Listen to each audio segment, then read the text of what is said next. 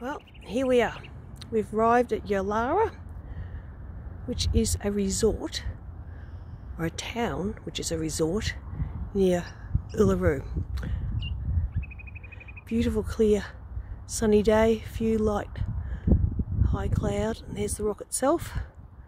It's um in this video it looks a lot further away than it actually is. Very impressive actually. Very pink on the way in, now it's looking a bit purple. Here we go. There's Frank enjoying a coffee. There's the town of Yulara.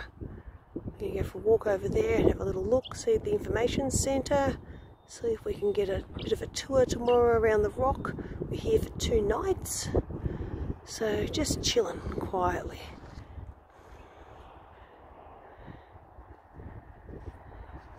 Okay, talk to you later. Bye.